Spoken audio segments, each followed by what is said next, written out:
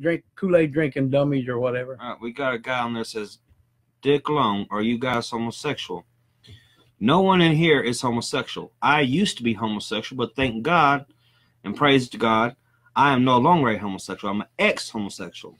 Been So- delivered, set free. He has by I the sure blood of. Christ. Amen. Amen, brother. Amen.